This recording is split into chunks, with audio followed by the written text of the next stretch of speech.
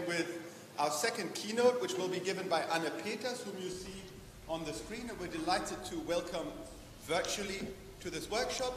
Anne is the, one of the directors of the Max Planck Institute uh, in Heidelberg, one of the epicenters of international legal research. And uh, she is also a past president of the European Society of International Law and a new president of the German Society of International Law. Despite having worked through the established mainstream institutions, I think one of the terms that was used yesterday, Anne has certainly brought innovative and fresh approaches to all of these. And as somebody who has, um, well, followed her, well, followed her development since I was a student in Kiel where she completed her postdoc studies with a mixture of admiration and fascination, I can say she stands out that despite having reached all these pinnacles, she has remained a curious and intellectually um, ambitious scholar who continues to do her own research rather than directing the research of others. She does that too. But I think what makes her stand out, certainly in the continental international law landscape, is that she has never published or written books. She's never stopped writing books and monographs. So that's something we can all aspire to.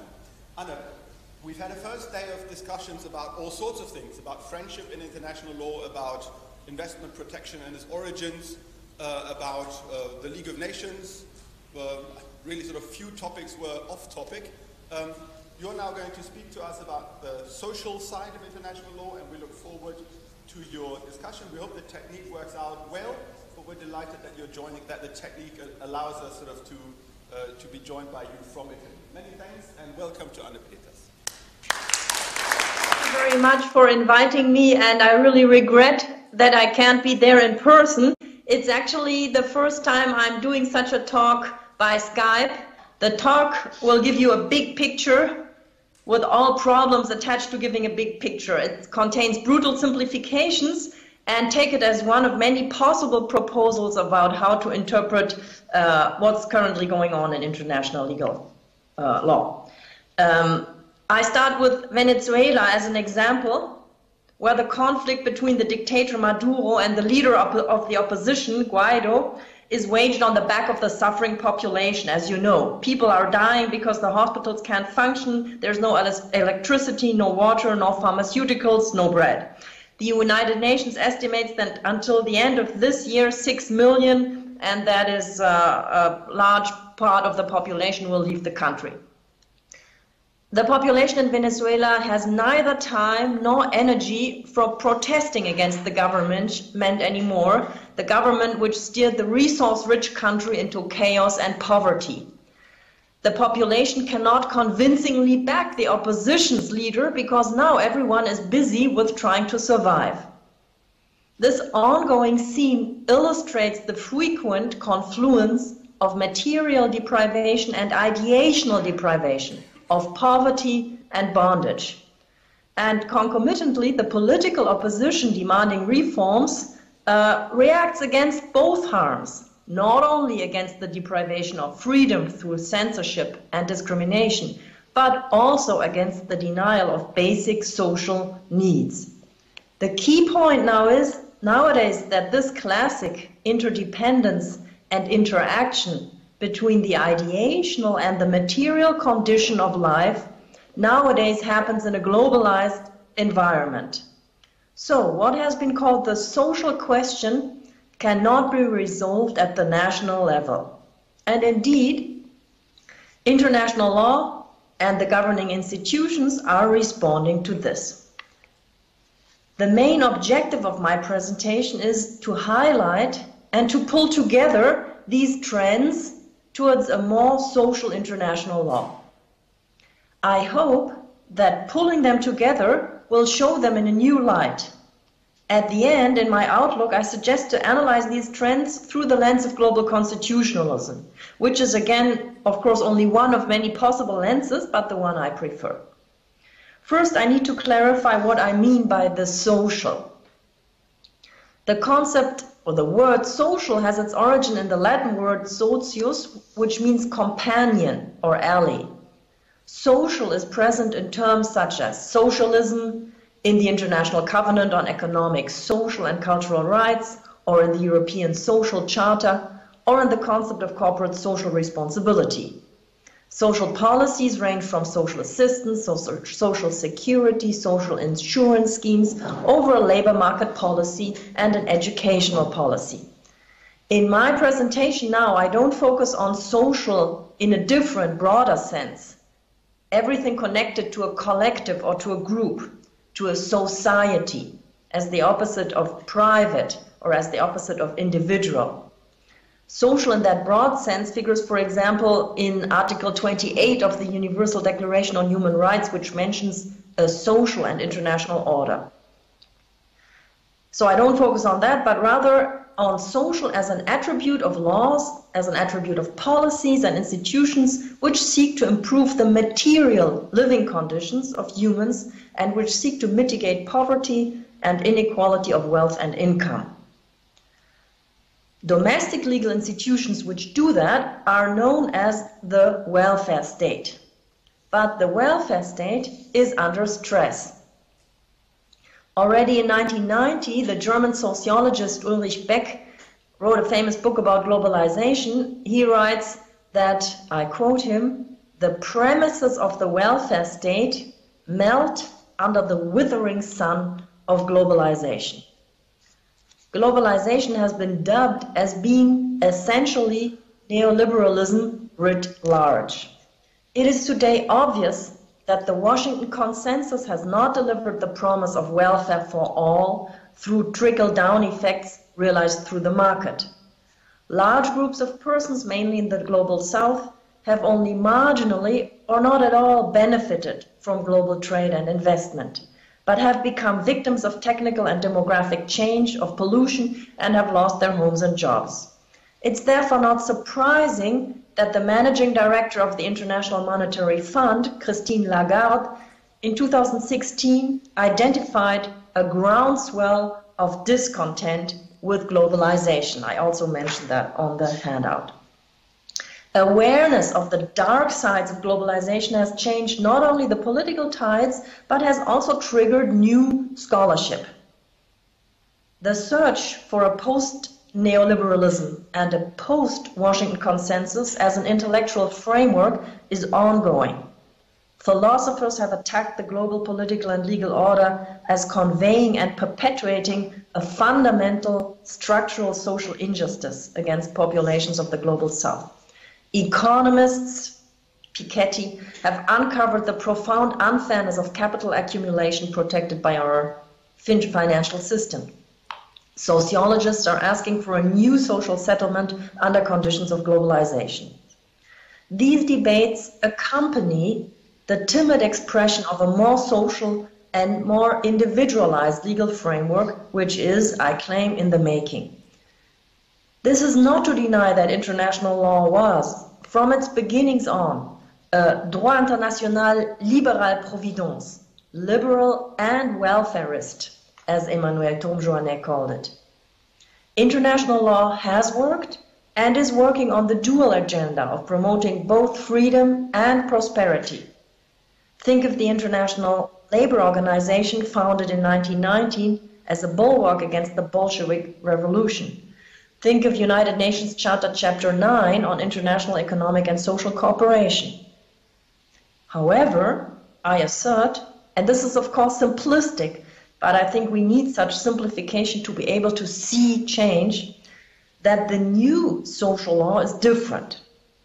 The crucial difference between the old interstate international law of solidarity and development and the new, more social law is its attention to individuals across state boundaries and its acknowledgement of a cross-border social responsibility for individuals, as I will now try to demonstrate.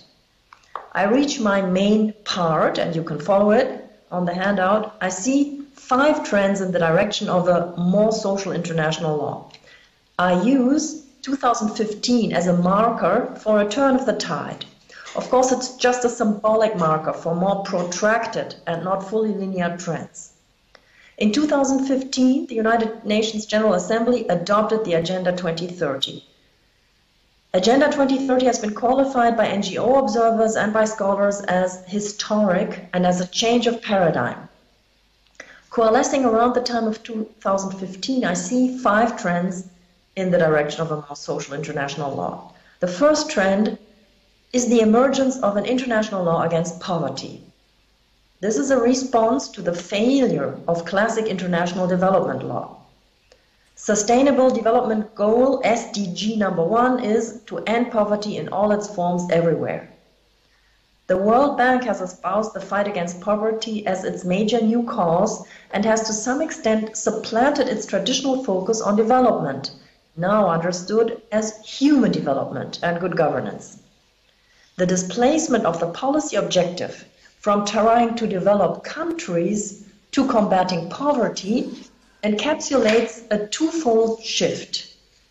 First, it downsizes the ambition Combating poverty sounds much more modest goal than reforming a country and revamping an economy. Second, targeting poverty facially deflects the focus from macroeconomics and legal and political institutions to the individual and his or her needs. The individualist turn seeks to harness socioeconomic rights as a vehicle and a tool for combating poverty. In this policy, the needs of the individual are the ultimate normative reference point.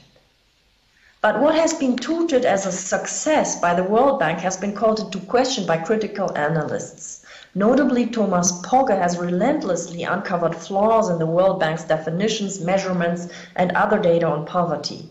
Pogge went as far as criticizing the MDGs as, I quote Pogge, a cruel joke upon the poor, the celebration of a vast crime against humanity.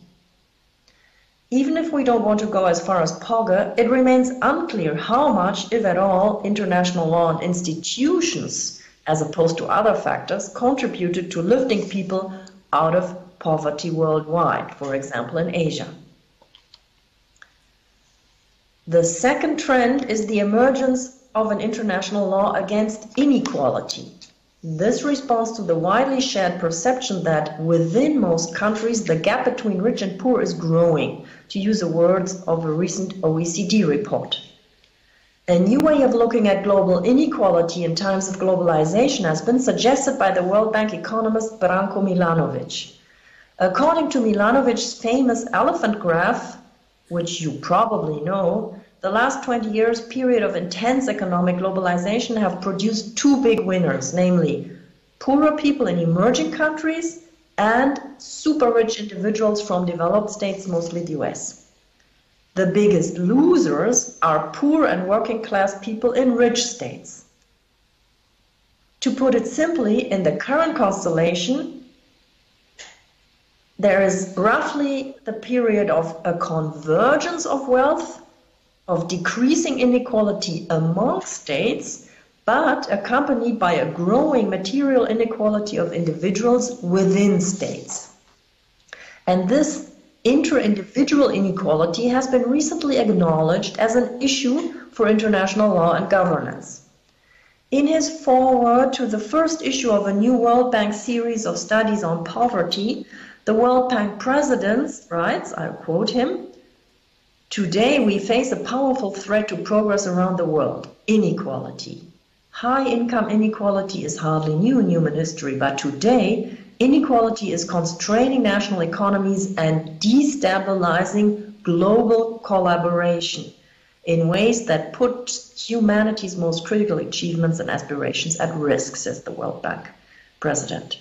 Along the same line, the 2030 Agenda has formulated the mitigation of inequality of wealth and income among individuals as an official development goal.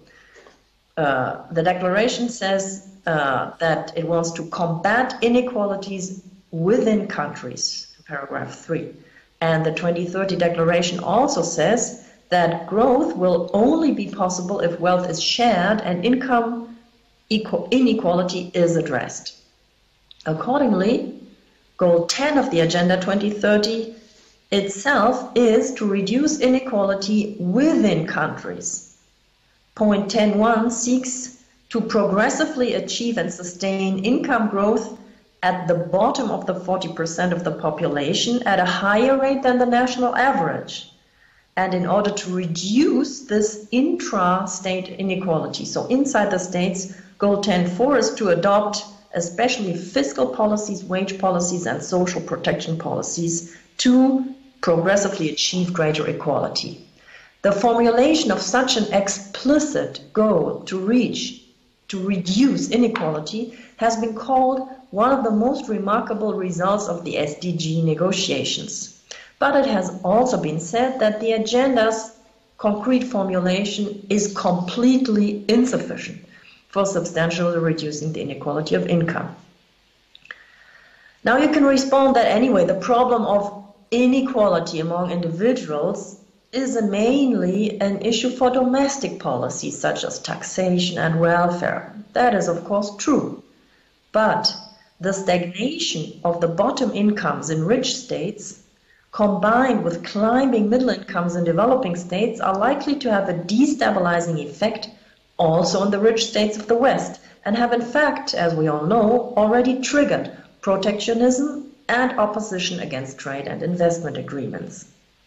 Therefore, I submit that a cross-border material inequality of individuals' living standards is a proper focus of international law too.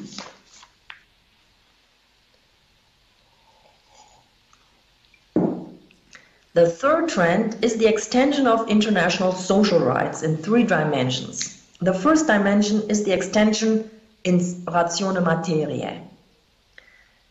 As you know, international social rights have radiated into all subfields of international law that are relevant for the global social question.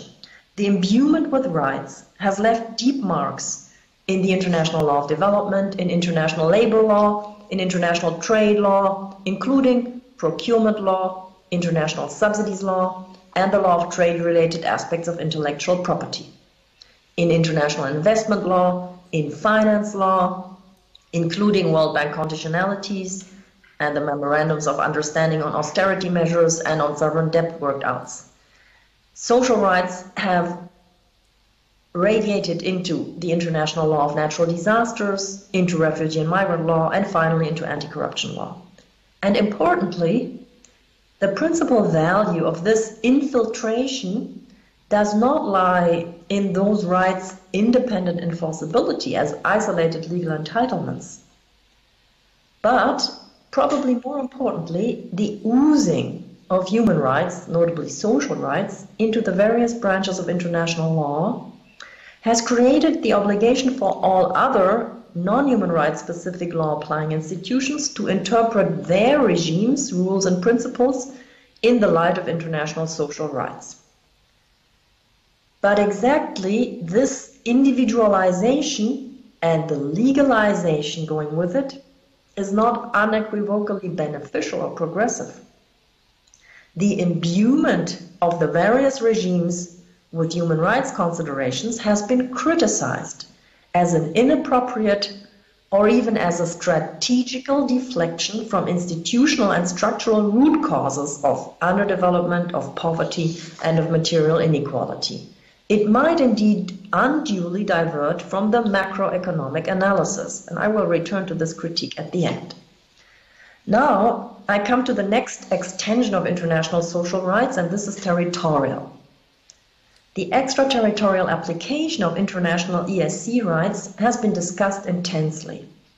The political starting point of this new movement is the claim that, due to global interdependence, any legal, political, and administrative action of states in the fields of trade and other areas of the economy increasingly have negative repercussions on the social rights of people situated outside the territory of the state. Importantly, the core issue is not state conduct, for example, police action or military action outside state borders, but it is rather the extraterritorial effects of measures which are adopted inside the state. This includes the state's regulation, or rather its non regulation of business actors domiciled inside its territory, but whose activities may have an adverse impact on social rights enjoyed by persons outside the territory. Trade laws, import restrictions, export subsidies for agricultural products, or the refusal to award development aid potentially affects the housing, it affects the food and work of persons situated in other states, and therefore this is possibly also related to their social rights. Of course, in times of economic globalization, every state is somehow connected to the populations and to business activity in other states. Governmental action or governmental inaction may produce detrimental social and economic effects on the other side of the globe. That's a truism. But the result can, of course, not be unbounded legal state obligations to honor the social human rights of every person on the globe. We need criteria which determine the threshold above which extraterritorial human rights based obligations of state A are triggered in the first place. And this threshold might be discussed in terms of jurisdiction. However, the criterion of control, which has emerged from the case law, for example, of the European Court of Human Rights and the uh, Covenant on Civil and Political Rights, control as the main element of jurisdiction hardly fits or doesn't fit at all in constellations of mere extraterritorial social effects of intraterritorial state action. It does not make sense to look for control of the US legislator awarding a rice subsidy to domestic farmers, which harms African farmers, to give an example. The US Congress will never control the African farmers in any way.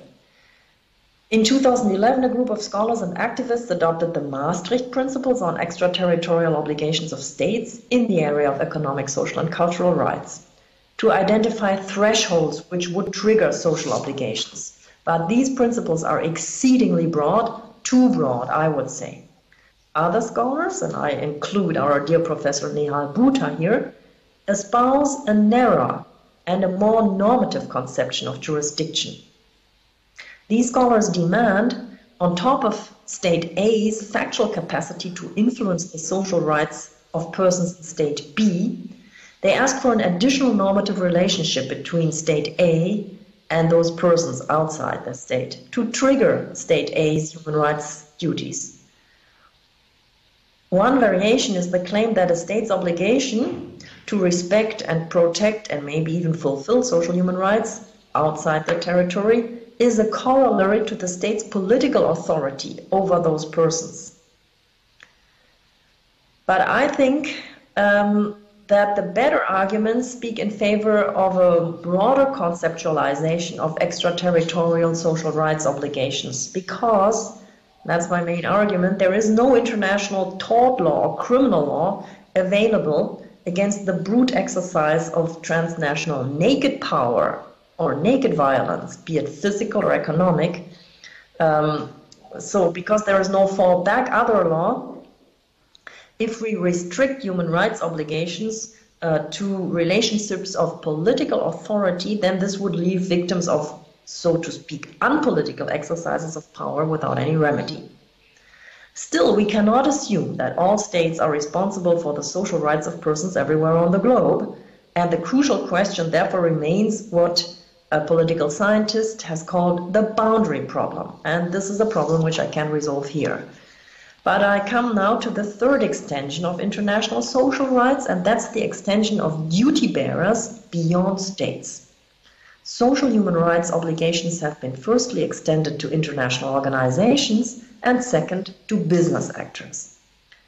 One constellation involves international financial institutions which directly or indirectly finance state policies or development projects which affect social rights of the populations. For example, the right to housing, affected by resettlements and evacuation to build new infrastructure.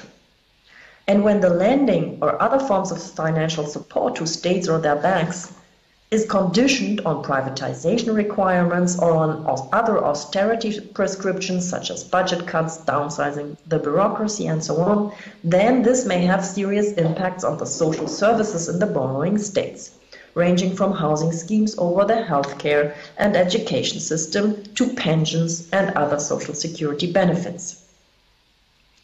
Another scenario is the restructuring of sovereign foreign debts in which international organizations are involved. Prominent example, the credit and bailout arrangements between the IMF, the European Commission, and the European Central Bank, and various EU member states uh, towards Greece. Against this background, notably the World Bank and the IMF have been a main target of attacks by the globalization critics, even more than the states themselves, and have been blamed, often in a summarial fashion, for creating and perpetuating economic and social injustice. I think that this reproach overstates the actual power and means of the international organizations. But the idea that the organizations themselves should, in principle, be held accountable for negative social effects to which they contribute is valuable. The World Bank's new environmental and social framework setting of 2016 is attentive to social impacts of its investment project financing. In this political document, the bank does not assume any own human rights obligation, but commits itself to conduct a due diligence of proposed projects, and this due diligence covers the environmental and social risks and impacts related to the project. Next problem is that the international organizations depend on states as members and as implementers of the organization's measures. And generally speaking, I would say that for this reason, the organization's obligations are arguably mostly only subsidiary or complementary to the involved state's obligations. And a related question is how the sphere of human rights responsibility of organizations can be demarcated in the first place, given that international organizations do not have any jurisdiction, no territorial jurisdiction, which normally determines the human rights obligations of states. They have a functional jurisdiction.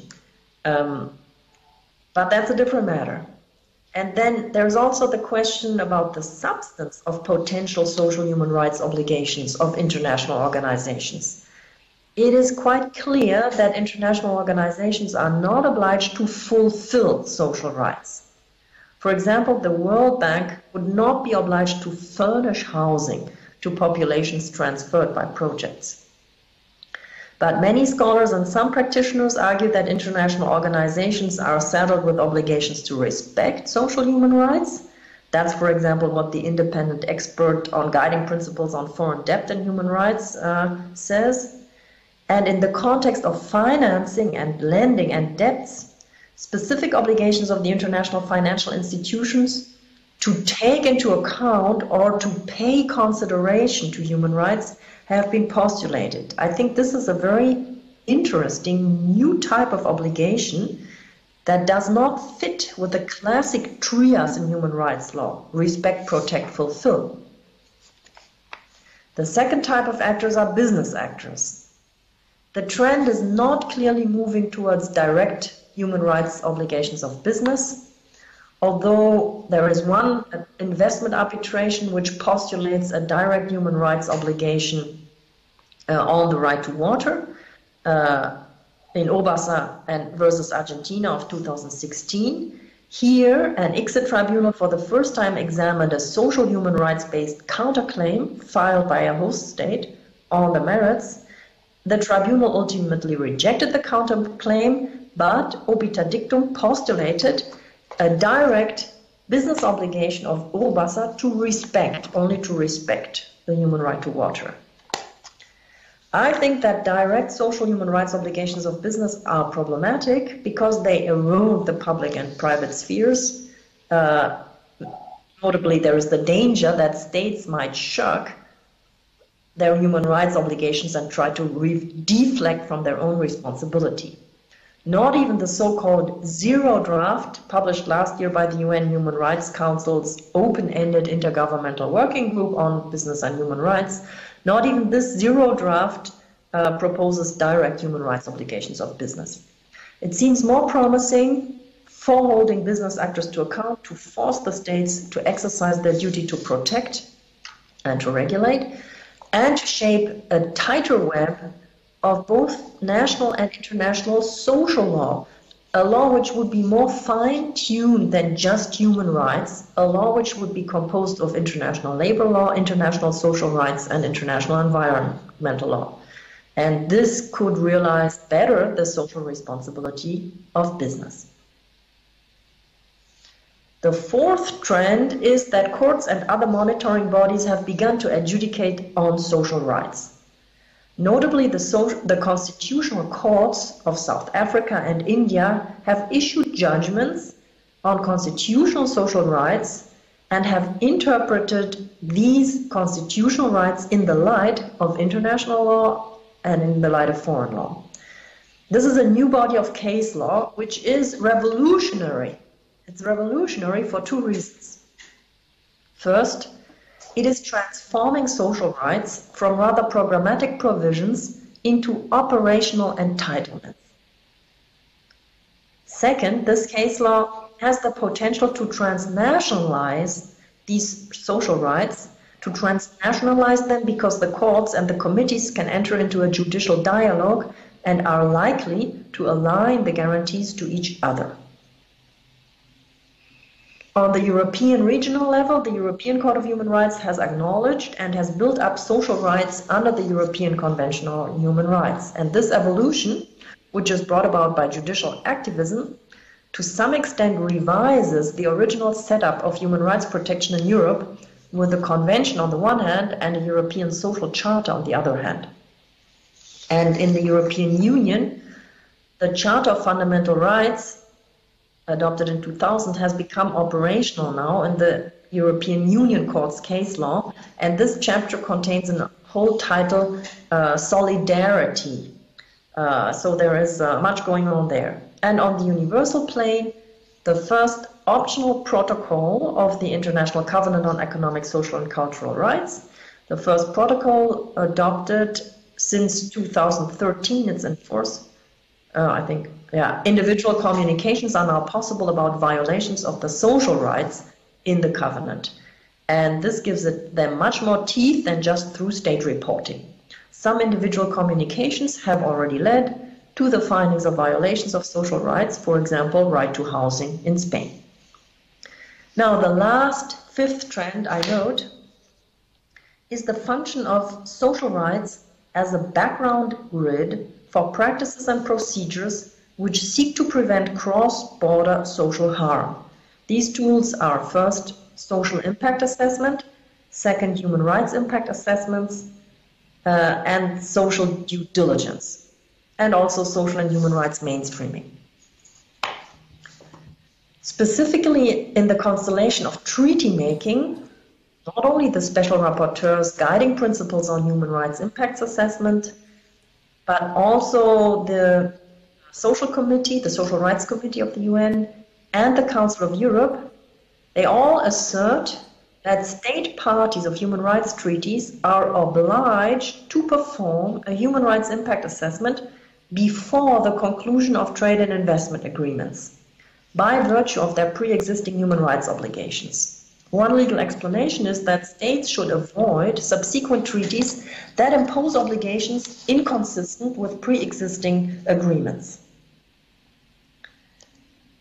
Unresolved legal questions are when, uh, that is, at which threshold, the soft or hard obligations to conduct such social impact assessments or due diligence is triggered.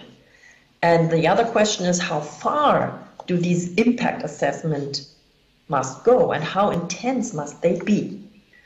And a further question is to whom these, I would say, deliberative and procedural obligations would be owed to one or more states, to the international community as a whole, or to the potentially affected individuals outside the state.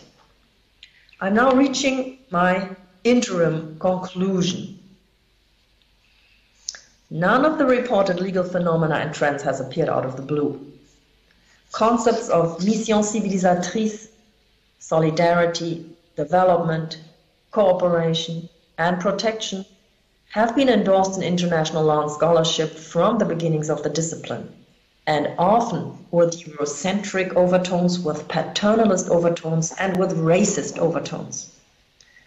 But in an era of a new global awareness about the fallouts generated by ruthless globalization, the trends I mentioned manifest the recognition not only of interstate obligations or solidarity, as it was notably in the classic international law of development, but it manifests an additional, very weakly legalized responsibility for the material welfare of individuals independent of those persons' nationality and independent of the place of residence. And I call this a form of cross border social responsibility for human beings.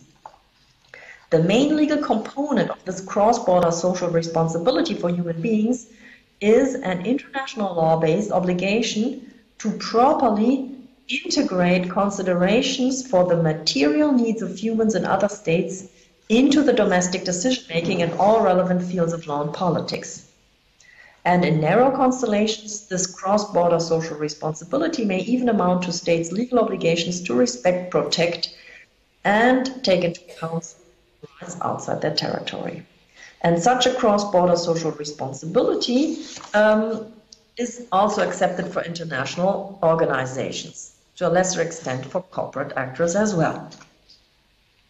What I have described as a rise of social rights comprises two seemingly contradictory features. On the one hand, the rights function as entitlement is being sharpened, notably through the new enforcement practices. On the other hand, social rights form a mere background noise when they are used as a guideline for the interpretation of hard rules in trade and investment. The dilution of social rights is most obvious in the new tools of social human rights impact assessment and due diligence. However, both functions of rights, the function as enforceable entitlement on the one hand and as mere interpretative guideline on the other hand, can coexist without cancelling each other out. Taken as a whole, the social thickening of international law in form of the cross-border social responsibility for humans has a constitutional significance and could therefore be approached in a constitutional mindset. I suggest to employ the lens of global constitutionalism and to fuse the constitutionalist and the social dimension of international or transnational law in order to reconceptualize the problems and in order to provide an intellectual framework for policy proposals. Global constitutionalism so far focused on the trinity of rule of law, human rights, and democracy. The positive and negative feedback loops between the realization of classical liberal goals on the one hand and the guarantee of minimally acceptable material living conditions on the other hand make it impossible to satisfy the classic constitutional quests without simultaneously addressing the social question. And in an interconnected world, both the social question and the constitutional question have gone global in the sense that the principles, institutions, and procedures developed within nation states cannot fulfill their functions without extension to international and foreign actors. The fusion of the social and the constitutionalist program to form an agenda of global social constitutionalism has the benefit of upgrading the social concern to the level of importance it deserves. And this fusion is apt to rescue global constitutionalism from Eurocentrism and from blindness towards the collateral damage of economic globalization. But this agenda must address three qualifications. First, the emergence of the more social international law, which espouses a cross border responsibility for individuals does not comprise the establishment of central institutions comparable to welfare state bureaucracies. The absence of a central democratic lawmaker, of a central budget, and of centralized enforcement branch makes it impossible to design and implement global insurance schemes, impossible to define and successfully levy global progressive taxes, so the structure of global social governance remains decentralized, horizontal, with various state and non-state actors forming a net network of social governance bodies. And this form of governance without enforcement powers is of course typical for international law, but it's hard to see how such a decentralized system could ever manage money flows and contribute to redistributing money.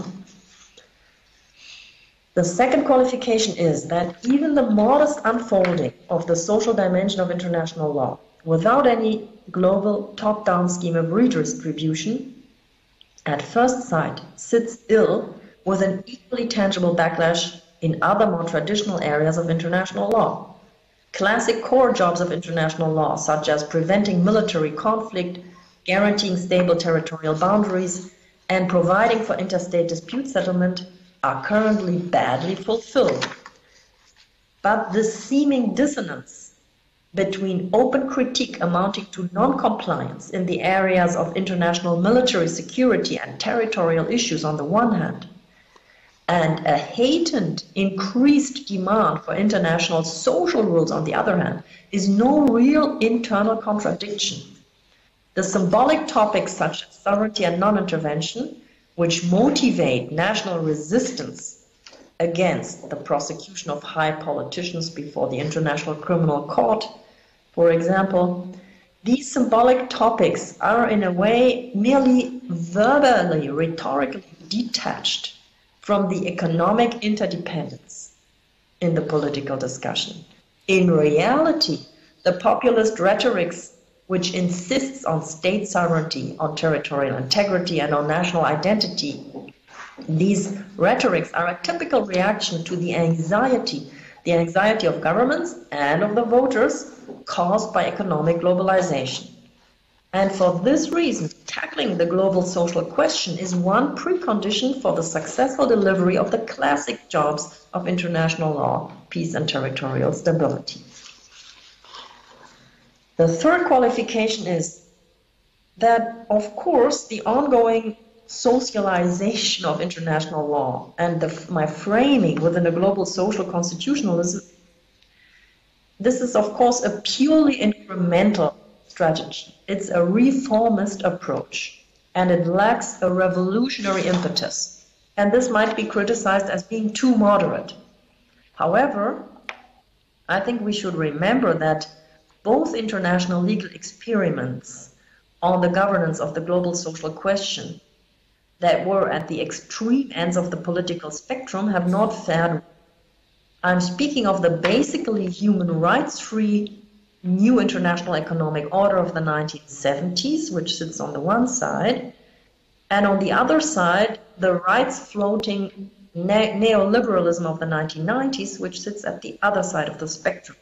Both neglect human rights and both have not contributed much to global social justice. Against this historical experience, a reform strategy with international social rights, and notably the right not to live in abject poverty, as its centerpiece is worth trying. And along that line, global constitutionalism as an ism, an ideology, should move further towards embracing the social dimension. And this can, can be done, it should be done analytically by acknowledging that the extant bits and pieces of international social law already do form part of international law. And it's a kind of a, you can see it as a body, as I did, and second, normatively, by developing legal arguments, processes, and strategies to strengthen the social aspiration, global constitutional justice could be promoted more. Thank you.